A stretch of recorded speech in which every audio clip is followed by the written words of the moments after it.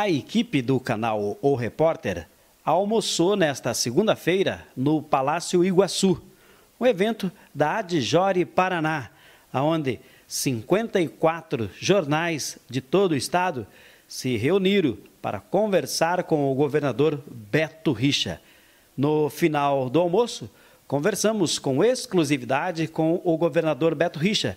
Ele falou das medidas tomadas no início do ano e os resultados que já estão aparecendo. Foi um ano muito difícil, onde nós adotamos medidas para o ajuste fiscal duras, medidas impopulares e geraram uma certa insatisfação e incompreensão da população. Nós começamos já em dezembro de 2014, percebendo a forte deterioração da economia nacional, nós já propusemos o pacote de ajuste, que em dezembro previa o realinhamento de duas alíquotas de impostos que estavam defasadas. Em seguida, o momento mais importante, que foi a redução de gastos e despesas do governo. Para você ter uma ideia, nós fechamos o estudo de janeiro a setembro, que é comprovando uma ampliação da receita do Estado em 6% e uma redução de despesas de 11%. Ou seja, cobrando o esforço da sociedade, eu dei o exemplo. Eliminamos mil cargos em comissão, cinco estruturas de secretarias e também gastos de custeio da máquina do Estado em 15%. Isso deu como resultado a elaboração do orçamento para 2016, já entregue à Assembleia Legislativa, que está para aprovar, com uma previsão histórica de investimentos de 6 bilhões e 800 milhões de reais.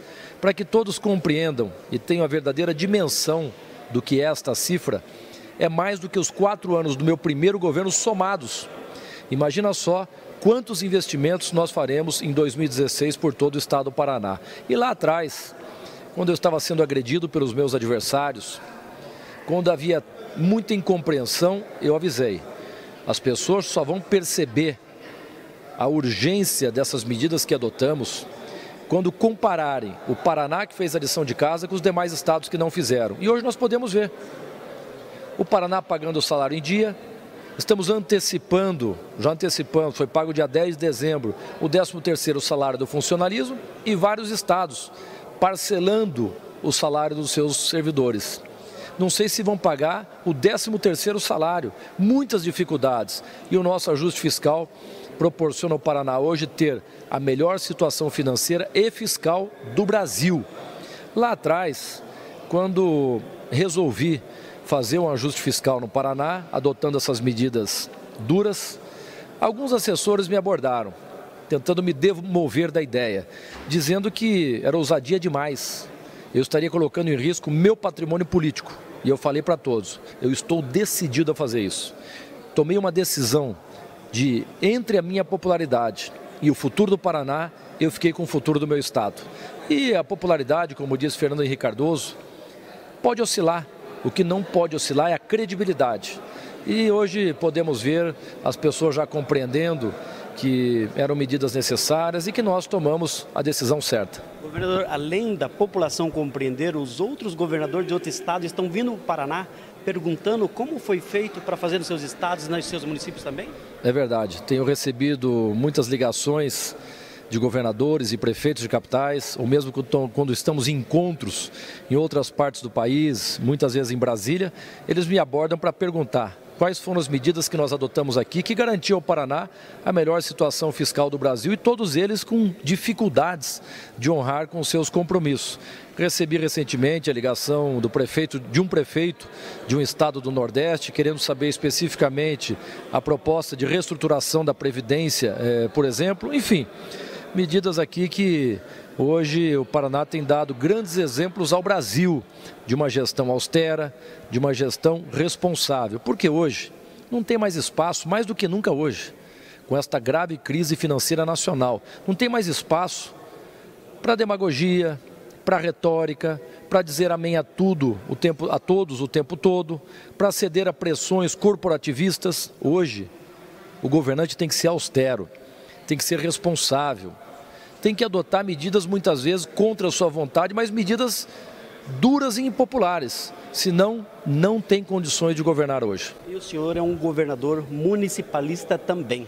Estivemos conversando recentemente em Campo do Tenente, o senhor entregando um pacotão de obras, onde que um prefeito do PMDB bate no peito e fala: Este é o meu governador. Questão do deputado Francisco Bira, do PSDB. Ele fala: Este é o meu deputado.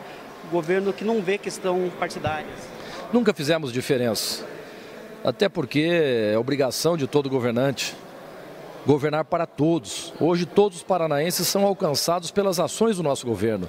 Não tem mais como no passado perseguição, truculência, bravatas, não mandar dinheiro para municípios cujo prefeito não seja alinhado politicamente com o governador. Isso é coisa do passado. Na visão moderna de gestão pública não tem mais espaço para esse tipo de comportamento reprovável. Eu tenho, evidentemente, gratidão por todos que me apoiaram, mas, por outro lado, tenho a consciência que fui eleito para governar para todos os paranaenses. E entendo que a melhor maneira de melhorar a qualidade de vida do nosso povo é investir nas cidades onde eles vivem. Portanto, temos aí uma grande, sólida, estreita relação republicana com todos os municípios do Paraná. Governador, só para a gente encerrar, aquele momento que o senhor, o Chico Santos, correram atrás para que a Sumitomo se instalasse em Fazenda Grande. Fazenda Grande encerra o ano hoje falando de mais cinco novas indústrias, momentos necessários que transformaram a vida da cidade. É, com credibilidade, nós conseguimos resgatar a confiança com o setor produtivo, que estava abalada. O governo anterior não tinha é, a visão de privilegiar o investimento privado, maltratava os investidores, não existia segurança jurídica no Paraná e hoje todos sabem, através do diálogo, de programas de qualidade, como é o caso do Paraná Competitivo, nós atraímos muitos investimentos de empresas e indústrias nacionais e internacionais. Hoje, o Paraná vive o maior ciclo industrial de toda a sua história já conseguimos atrair mais de 40 bilhões de reais em investimentos, que geram muitos empregos à nossa gente. Maior ciclo industrial e, segundo o Ministério do Trabalho, somos dos maiores geradores de emprego com carteira assinada. E uma das cidades, dentre tantas, que foi beneficiada com o programa do nosso governo de industrialização é a cidade da Fazenda Rio Grande, com várias indústrias, mas a maior delas é a Sumitomo, indústria japonesa que fabrica pneus de qualidade e pneus que vão para várias partes do Brasil e do mundo. Para encerrar esse encontro aqui com os donos de jornais do interior da Dijória, o respeito que o senhor tem com todos os veículos do interior.